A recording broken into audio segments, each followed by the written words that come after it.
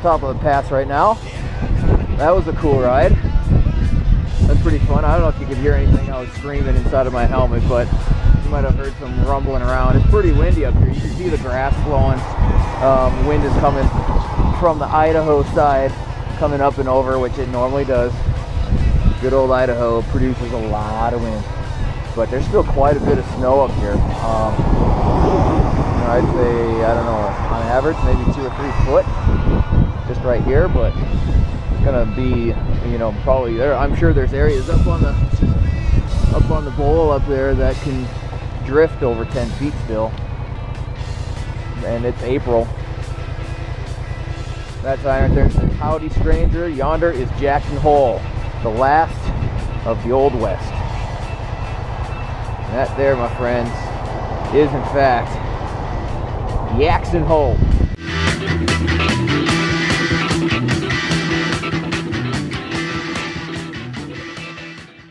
Yamaha FZ07. Um, this thing is pretty cool. Um, I've had a lot of fun on it. I, I'm a big fan of doing extensive research before I buy anything, especially something that has value. Um, I'm a I'm a fan of of buying things and hanging on to them for a long time too. I know some guys are like, oh, I have to have this year's bike, and then you know, or car or, or device or whatever it is, and then next year they're like, oh, I'm bored of it. I'm going to get the new model or I'm going to get something different. But uh, me, I do extensive research and I I go for something that is all around. So I have um, faith in this bike that it is an all-around um, bike. In fact, it it has plenty of juice, and I said in uh, in the last episode, in episode two, that um, um, you know people are riding these things around a lot, and you know a beginner will hop on it, and it's easy enough for a beginner to to enjoy, and um, and they may not ever get sick of it. So then you can get an, ex- an experienced rider on it, and you um, and you get an experienced rider on them, and they still have fun. You know, they have really high reviews. They, you know, get the cheesy grin, uh, perma-grin going on because they're lightweight, they're flickable. Um, as you guys just saw coming up the pass, you know, we have 12% grades going uphill and um, hair hairpin turns. You know, I think there's only there's three hairpin turns that I did, and I was leaning pretty good. Um, and so the bike is is flickable. They call it. They call it flickable. For those of you that are new to technology or to uh, terminology rather. Um, so it's it's lightweight. It's not top heavy at all. In fact, uh, a lot of people are complaining about the exhaust. I, for one, love the exhaust on this thing. Um, I, am not like super in love with it because it could sound better, but it sounds really, really good to me. Um, it, it hums really well. It does have a catalytic converter on it, and the headers are, you know, headers. So, um, you know, a lot of a lot of guys, especially on the forum, are are um, buying aftermarket. You know, you have the Akrapovic, um, you have um, I don't even know. There's an M77, there's an M4, there's the Two Brothers. Um, there's a lot of different types that you can buy. So um, I just bought the bike and my bank took a good hit. So I am going to wait until I am paid off on the bike and bored of the sound. So once it's paid off and and I'm bored, then maybe I'll go ahead and um, invest in a nice sound. So, um, but other than that, I mean, I'm I'm cool with just how this is right now. It's a good bike. I do. I, this thing is stupid. I, I we'll get to that later. But um, good engine. It's a 689 cc engine.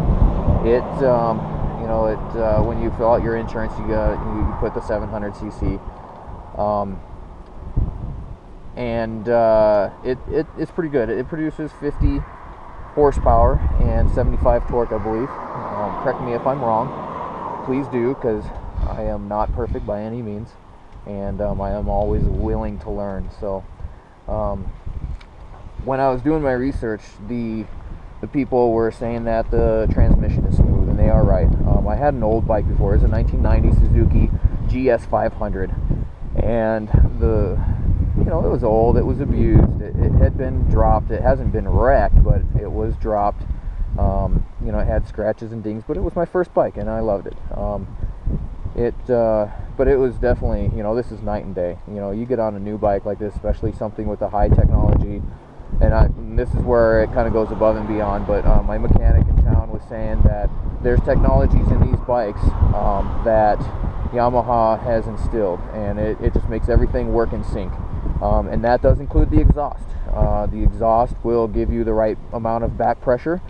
Um, it gives you the the proper amount of um, of uh, airflow. You know, I, I, I put it in layman's terms, but the um, everything is tuned to be in sync throughout the entire bike. And as soon as you start changing things up, um, you just need to know what you're doing, you know. And a lot of guys are just doing their exhaust, but then you get the other guys that are like, well, if you do an exhaust, then of course you have to do a controller so that you can manage the fuel and air.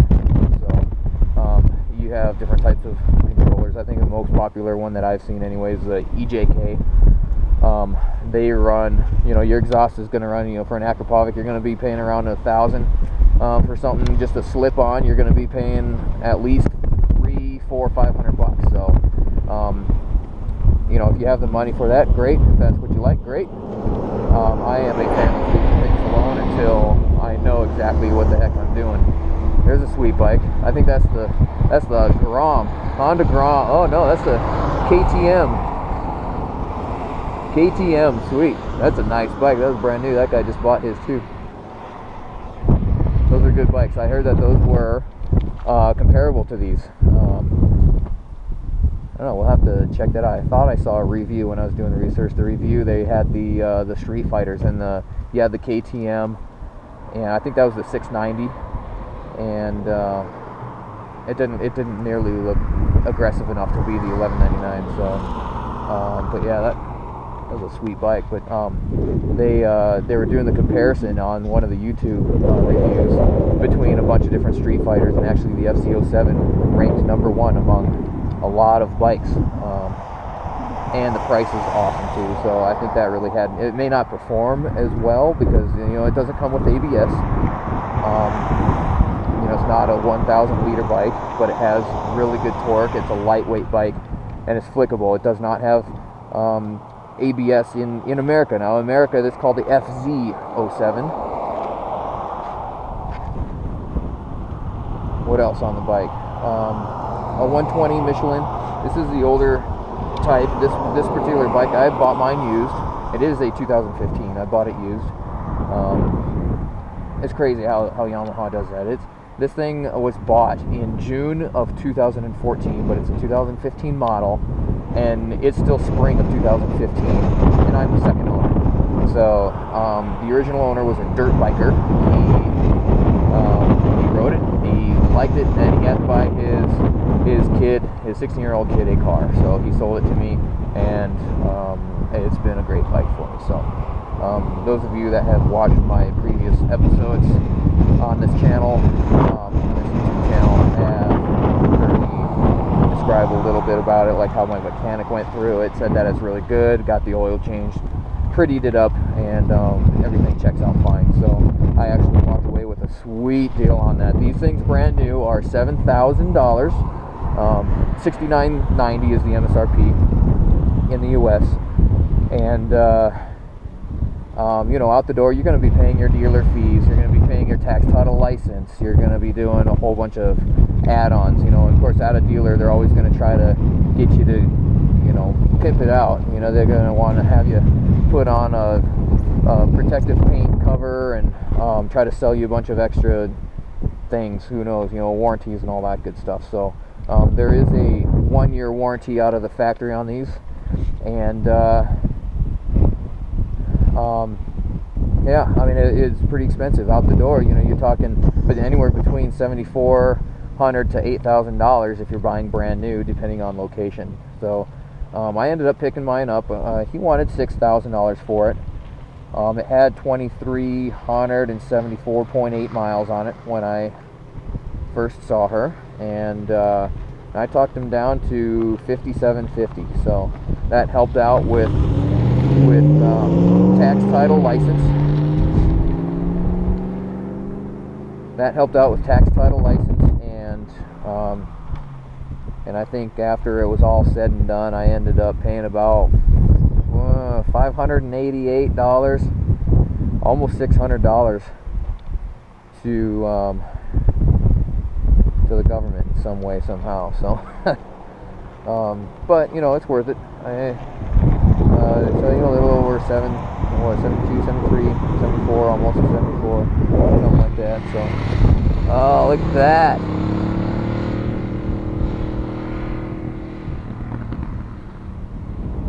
Yeah, dude, that was the. Um, let's see if I can get this right. That was the Suzuki SV650X. I want to say. I think it's the S- SV650X. It's the naked bike. Has the red red frame. It looks awesome. It sounded good too. I, I know those twins sound really good. They were really well known for their for their sound. I wish that guy would come back and say hi. That would be cool. I think that was what that was. Everybody's starting to like the, the naked bikes. That's three of us on the pass at the same time. It's awesome. So, um, yeah, that was actually one of my other choices. I was gonna get it, but um, you know, it's it's a good bike. I I heard better things about Yamaha than Suzuki, but the 650 is, that's that that SV has been around for a long time. They really haven't changed much, and I think that was one of the complaints that Suzuki just isn't staying in the game with with um, with competition. You know, the, it's kind of the same boring frame that has worked. It's been a proven frame for a long, long time, but it's just not new. And uh, I think people really want new. They want to try different things. Um, but uh, that that bike was kind of the step up from my old bike. I had the 650, no, the 500 Suzuki 500 GS, the GS 500, and um, I rode a buddy's. You know, there's a semi. They're a little loud. I rode my friend's uh, SV down in Phoenix, and I liked it. It was a little heavier than what I was used to, but uh, but it sounded good. It had some good pull, but not as good as this bike. This uh, 700 is a lot lighter. Um, it's totally new, redesigned. I wonder what the 2015 or the uh, the 16 model is going to look like. Released, of course, in in 15. Pisses me off when they do that. What? January 1st. If I ever own the company, January 1st is when I'm releasing my new product. It would just make sense. So, anyway, um, good bike, real comfortable. Um, I know I kind of go off on tangents, but uh, ABS. Oh, the the braking. Um, let's uh, finish the bottom. I'll go from the bottom up. Um, the braking is really good. Four piston um, front, dual disc in the front, no ABS. Um, the MT, of course, like I said, does offer Porsche.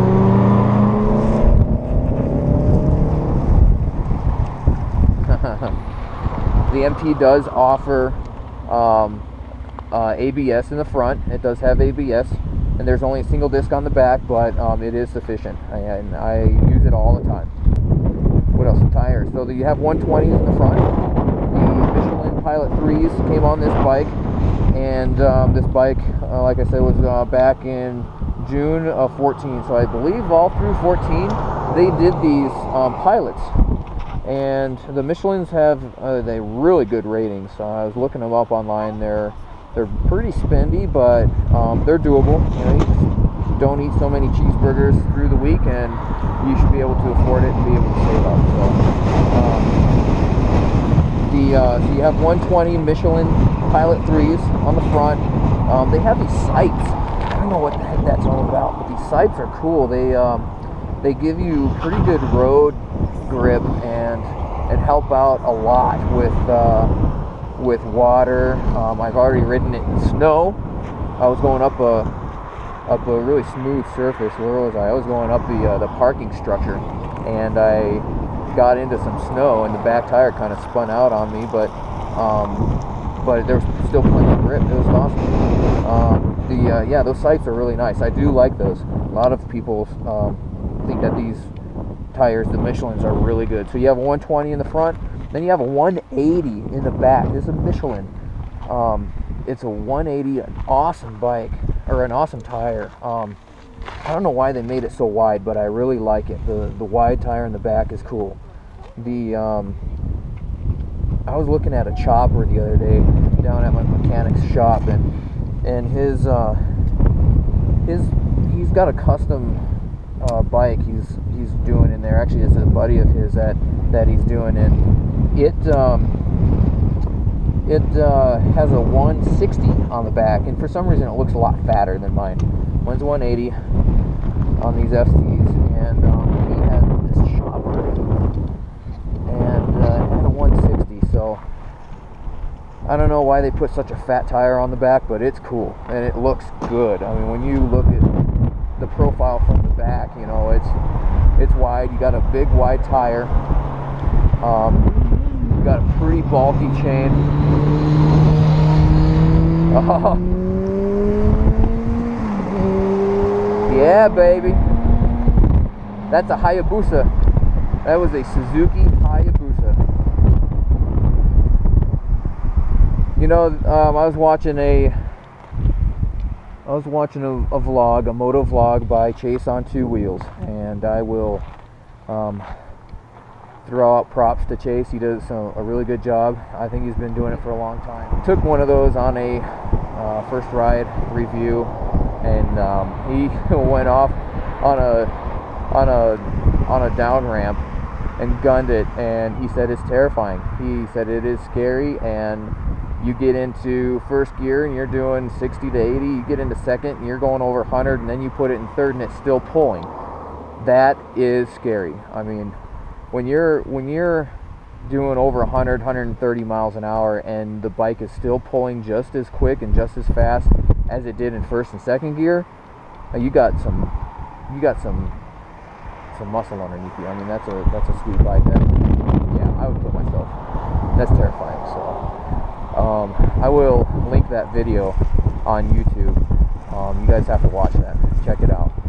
So, um, but yeah, this is definitely up my alley. I love the FZ07. Um, handles really well. And there goes the SV. It's coming back. Don't even try it, buddy. You're not catching up to the Busa. There goes the KTM. Brand new.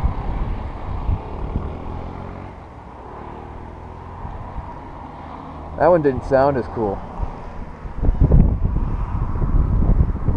Huh. I'm gonna hang out up here. What else? So we have tires, um, rims. I don't know anything about the rims, but they look like they're solid rims.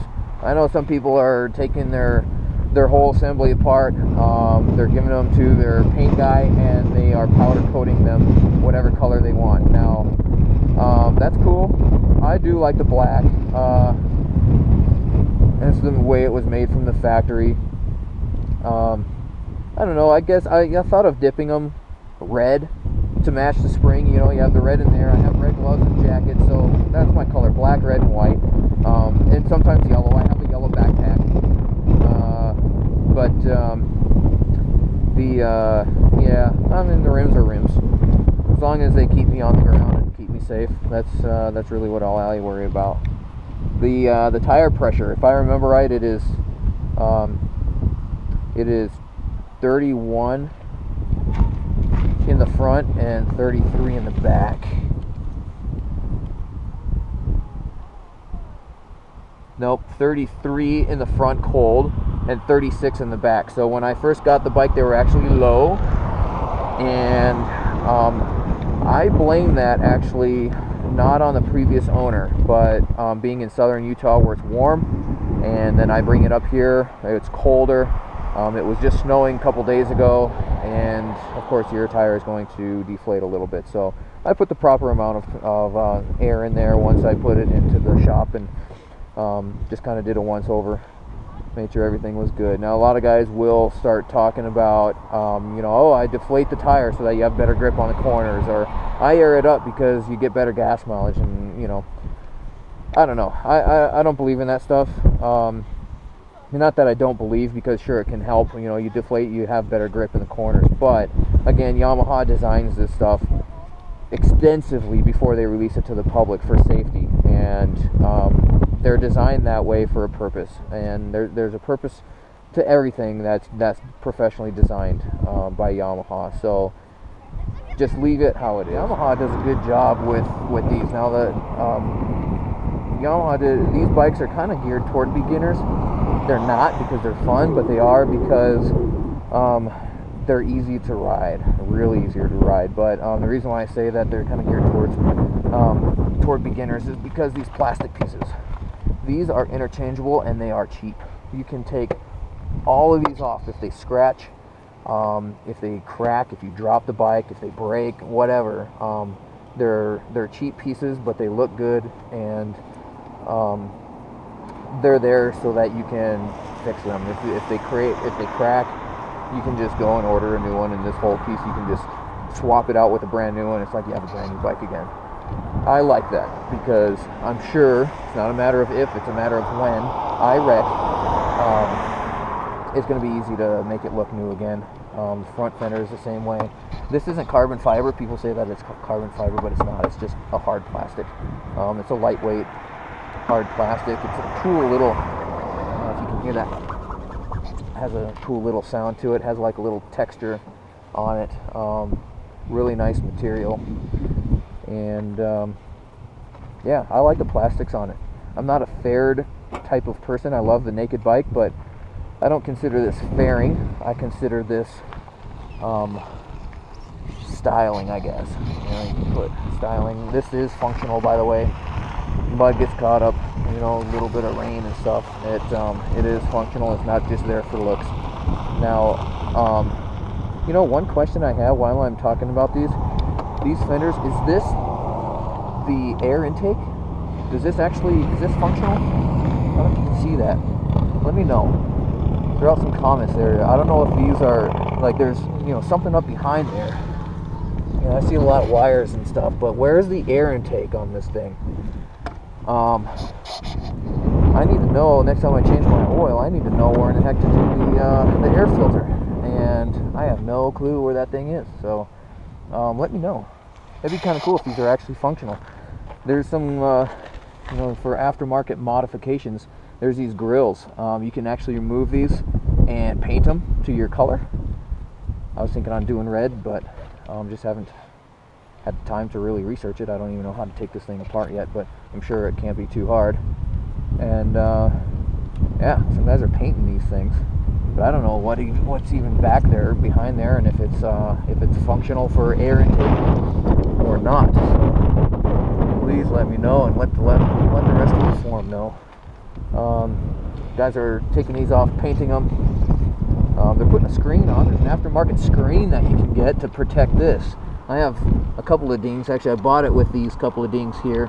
Southern Utah, there's a lot of red dirt down there. Um, so the guy had some some red dirt, and uh, he's a dirt biker. So well, I'm not saying that he took this thing off road, but there are a lot of rocks and stuff flying around down there. Um, what else? What else? Oh, uh, as far as modifications go, um, you can do the seat. Um, do the seat um they make a couple of different types of seats for more padding. Um, just going around town, this thing is pretty comfortable. Um, it's not the greatest. You know, if you're not used to riding a bike like myself, this whole past week I have been getting like horse saddle butt, and it doesn't ache at night, but just eh, you know, whenever you if you've been riding for an hour, kind of stop and go and, and tinkering around town, it can be aching a little bit just on the inside of your thighs.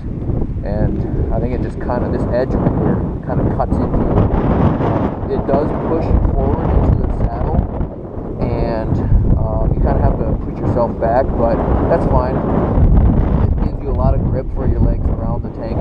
Um, it, it has a small profile, so it's not like riding a big fat saddle or anything. So it's you know, it's, it's fairly comfortable, but um, but too long, you know, more than an hour, maybe two hours, you know, it starts to ache a little bit, but it is a little pushy. Um, some guys, you know, they, they have different bikes, the crotch rockets and um, you know, like the R6 and those types. They have a lot firmer seats. They're they're made for riding on top. This one is um, it kind of feels like you're almost riding inside of the bike. You know, you're you're not just riding on top of the bike. You're riding kind of inside of the bike, more more like a chopper, but not that exaggerated. Um, but yeah, you can change out the seat. Pretty nice. You can also get a hard cover for the back. Um, the you can take the seat off, and there's a little tiny, like a three-inch pocket in there, um, and you can you can get a get a hard cover to go over that, so you can you can buy different colors and match your bike if you want, or you can you know I, I don't know if I would get a red one that would look a little weird. But so I was down in Utah when I bought the bike, and I was on my way back up, and I was talking to Griffith about um, about the uh, about the little holder here, and um, what he did is uh, he took these things off the the passenger pegs. You can actually just undo these these frame bolts right here, and um, both sides. This thing this pops right off. It's that is pretty simple actually. But once you do that, you can see that this holder is part of this frame. So if you want to do that, what you need to do is find something else to mount this. Um, this isn't a bad place to have it, but that's a good opportunity as long as you can find out something with that hose, um, where to put it and how to get it in there. But um, yeah, what Daryl did was um, took off. He heard from a friend that um, on both sides up here in the front you have these brackets, and they're just reflectors, they're side reflectors. That's all. Undo this bolt, take off this little frame, take off the reflector, and then use this black frame um, to mount onto here. So then you can go right onto this bolt, um, rig it however you want, and and um, create a little frame to house this thing in there. And it works, works well. So um, just a thought, if you ever decide to take these things off, make sure that you can remount this thing properly so that you're um, so that it's safe, so that it doesn't um, get all gummed up. You know, sometimes some rocks and stuff can hit it. You know, you you probably want to. There's this little fender inside of here, so you want to stay in front of that so that rocks aren't coming up and hitting this. You could crack this, and then you know then you're in trouble. So make sure that you come up and keep that thing up out of the way so that it's not getting hit too much. Um, yeah, we got these caps here. This has nothing to do with the frame. All this is is just a cap. You can take this off and you just see the frame back there. Um, it just protects you from your leg and I don't know, it's just for looks. So you can take these off, you can paint them. Um, you don't even have to have them there. I do like this thing here though so that your pant leg stays nice. Um, what else do we have going on? The spring. The spring is adjustable. Uh, I want to say nine positions. I believe it's adjustable in nine different positions. So um, that's all preload. It's um, it's the amount of preload, and uh, there's a graph that I read somewhere with weight, uh, and it relates the the weight of the passenger to um, to which preload you should use. So from the factory, I believe it's set to preload number three. So um, you, you can see there's a little line up there on the very top, and then um, and then you have divots. So that's setting one, two, and then three. So um, it was it's got to be more than three. Oh, I see how it is. So there's a little bump on the bottom too. So so that one is also set on number three, and it only goes. It doesn't make a full circle. So you you do have nine settings. Three, four, five, six, seven, eight, nine, and then you have the two bumps to hold it in place. So um, oh, and also to to adjust this inside of the trunk of whatever there is for a trunk, there is a tool to to do that. So you take that tool and that helps you uh, preload um, that setting for whatever you like. But um, there is a graph. If you do a little Google searching, um, I don't know what the exact numbers, but I know that I'm 185 pounds, and for a 185 pound person, I think that's kind of the average weight of of these riders they determined. So that's why they preset um, number three for um, the weight that I happen to be. So I didn't have to change mine, um, and it feels good. I figure I'll just get used to it. I don't even think I'm going to mess with it. Um, I might do a little bit of research on it and see what guys are doing. Um, so if you have any comments on it or have any knowledge about it, um, let me know. Um, and uh, it'd be nice to see. I'm curious about what people think about that and um, if there's anything that um, that we can do to uh, give ourselves a better ride. So otherwise, I mean, it, it, feels really good the way that, that it is for me. So working our way up, what do we have? Okay, so here's another thing that uh, when I bought the bike, for some reason, the um, the loopback hose was unplugged here. So this is, oh, that's loose too. that's not good. It's a little loose in there. I'm gonna take a look at that right now actually. This is exactly why. Oh, look at that, that thing's loose too. Jeez glad I'm seeing this stuff. Uh, yeah, make sure that your nuts and bolts are tight. This thing's, I feel a little loose. The other one on the other side was a little loose too, so I think I'm gonna find an Allen wrench. I believe that there's an Allen wrench in here, just for that purpose. And I thought I would never, ever, ever, ever, ever have to use these tools, but now I can show you exactly what we have in here. So I got a little kit um, here's that tool for doing the, the shock. That's what this thing is for. You got a flat, put it in there, get a little um, grab on it, and that it helps adjust your preload spring. So a lot of people were asking, what in the hell is that thing? It looks weird. I don't even know how to use it. So um, don't throw it away. That's your preload spring, your rear spring adjustment tool. Else we got in there? This thing? Oh. Is this what I think it is? Maybe. Maybe not. I don't know what this thing is, actually. Uh,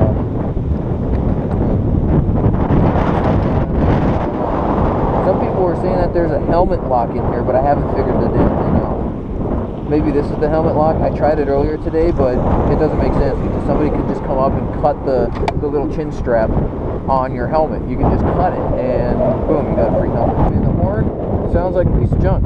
sounds like a bike normally does. Um, I'm not a fan of the horn. It sounds stupid. Oh, um, levers. A lot of guys are doing their levers. Um, I do like mine.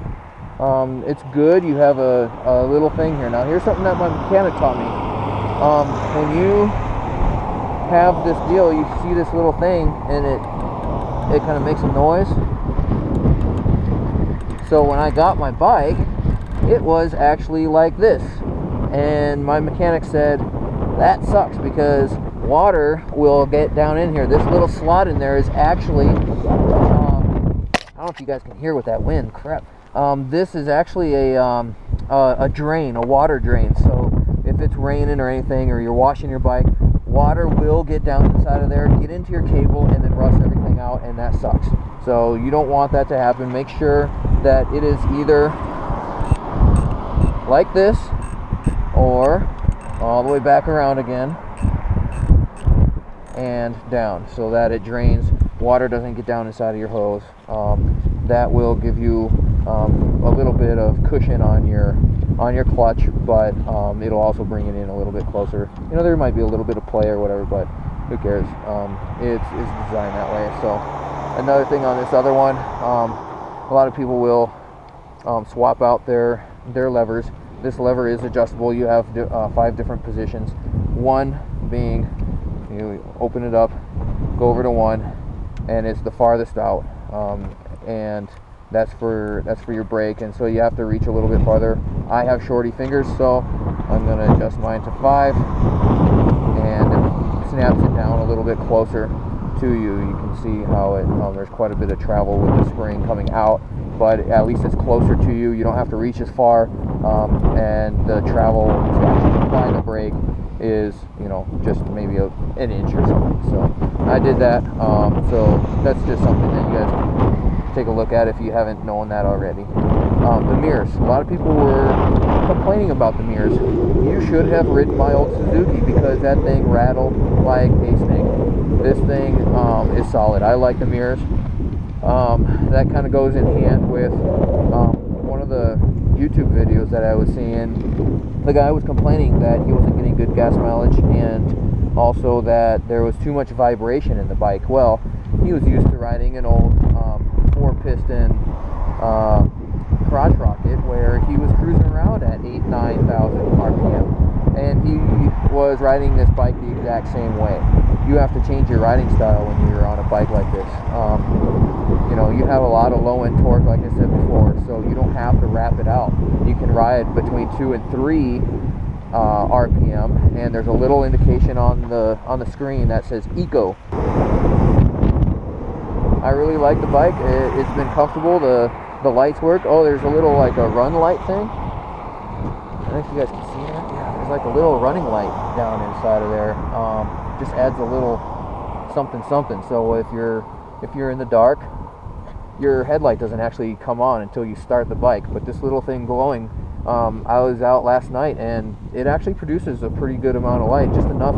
If it's pitch dark and you can't see anything, this light is going to allow you to see um, around the bike, you know, out here in the front, and then it lights up a little bit around the bike. So um, it's kind of cool. I I like it. It has a little accent. So, but you know, you get you get these chicken strips. So you know that's what these passes are for. You know, you got to work on these on these strips. And the, I don't know if you guys know what chicken strips are. We probably do, but if you don't, it's it's the amount of turn that you have. It's you know you if you're not wearing down the outside of your wheel, um, you're not leaning far enough. So a lot of guys are scared, including myself, to lean way too far because I mean that that angle right there if you're leaning on that angle, you're scraping stuff. You know, that's what these pegs are for. These pegs are designed to, they're feelers, you know, they're kind of like tentacles. They're, when you lean too far, it's going to hit the ground and they're going to scrape. Um, they do break easily. Um, this one's already broken because I came down too far and it kind of bent it a little bit. And in the back um, of that little thing, the, just a little piece of metal broke off. But um, it's not loose. Uh, it's a little loose, but it um, it's still inside of there. But um, someday, some way, maybe even in the next five minutes, um, those things are going to break. So, but uh, my mechanic, it was funny. My mechanic said, "You know, you're a chicken if you can't wear off the um, the the Michelin Man." And on these Michelin's, I don't know if you noticed, but there is a little tiny. Can you see that? That little guy right there, that's the Michelin Man and that's your goal. You need to wear that thing off. Let me see if I can find a better one. They're on the front too, on, on all the Michelins. And they put those on there for the bikers. They have, uh, yeah, here's another one right there, right by that arrow. That little guy right there, that's a Michelin man. And I've only been able to hit him a little bit, but not very much. So um, that's the goal, he said. Wear off the Michelin man. If you can wear that off, you're doing something right. There's a KTM. Oh yeah. That guy's ready to go across the world on that thing. Sheesh. Um, so anyway, I'll try to get these videos out as soon as I can. And um, let me know guys like things, if you um, hate things. Um, I am open to all kinds of comments. Uh, you know, how good the views are, how bad the views suck. Um, and um, if you guys want to hear anything different or learn anything more about the bike, that's great. Um, if you guys want to know anything about Jackson Hole, I'm your guide. So let me know and comment and please subscribe. And um, if you have your own page, uh, invite me and I'll definitely subscribe. And, and um, I am a learner at heart. I love learning new things and seeing new things. So um, I figure there's nobody in the world, even if, you, if your best friend is a vegetable, um, you can always learn from that person. There went something running down there. I think that was a is either a coyote or a wolf. Probably a coyote. We do have wolves here, by the way. But uh, ah, life is always an adventure. Thanks, guys. Thanks for watching. See ya.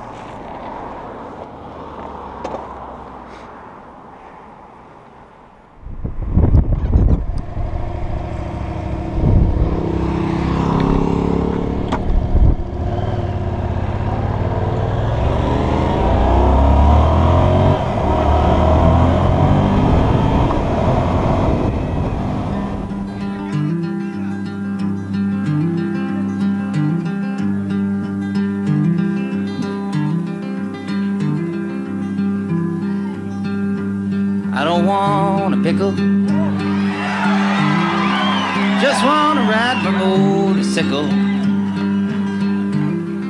And I don't want to tickle. I'd rather ride my motorcycle. And I don't want to die. I just want to ride my motorcycle. You know, I've been singing this song for about eight or nine years. That's amazing that somebody could get away with singing a song like this for about eight years, you know? You know what's even more amazing than that is that somebody could make a living singing a song like this for eight years. And I told him, I told about everything I could about this song. I told about when I wrote it and how and why. But the one thing I always used to neglect to explain was the significance of the pickle. It was about the time I was riding my, riding my motorcycle down a mountain road. I was doing 150 miles an hour. I was playing my guitar. On one side of the mountain road, there was a mountain. And on the other side, there was nothing. There was just a cliff in the air. I wasn't paying attention, and you know that's dangerous. Driving your motorcycle on a mountain road, a lot of curves and stuff like that, playing your guitar. All of a sudden, a string broke off my guitar.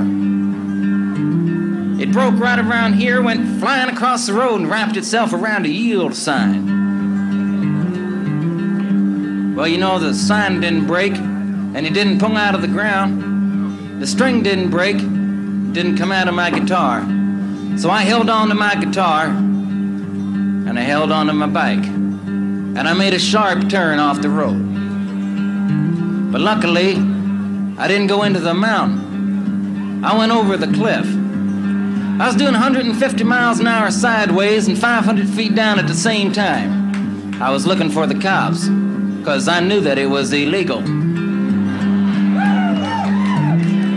Well, I, I knew that that was it. I knew that I didn't have long to live in this world. And in my last remaining seconds in the world, I decided to write one last farewell song to the world. I took out a piece of paper. I took out a pen. I sat back and thought a while, and then I started to write. I don't want a pickle, just want to ride my motorcycle. And I don't want to tickle, I'd rather ride my motorcycle. And I don't want to die, just want to ride my motorcycle. Well, I knew it wasn't the best song I ever wrote, but I didn't have time to change it. But you know, you know, the amazing thing is that I didn't die. I landed on the top of a police car, and it died. I drove into town at a screaming 175 miles an hour, singing my motorcycle song. I pulled into town and stopped out front of the general store, and out front of the store was a man eating the most tremendous pickle. A pickle the size of four pregnant watermelons. Just a huge monster pickle. He walked up and pushed a pickle in my face and started asking me questions. And it was about the same time I noticed a pickle in my face. I noticed a cord hanging from the long end of the pickle, going up his sleeve, down his shirt, into his pants, into his shoes, out his heel, and into a briefcase he had near his feet. Well, I knew, I knew it wasn't an ordinary pickle.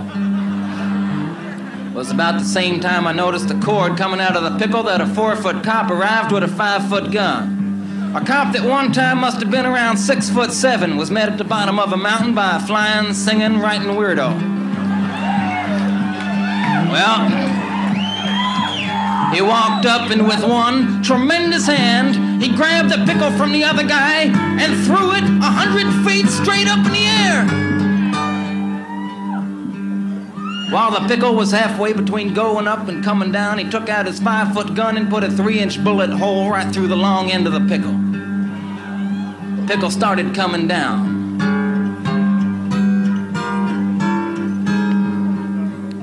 He caught the pickle on his big toe.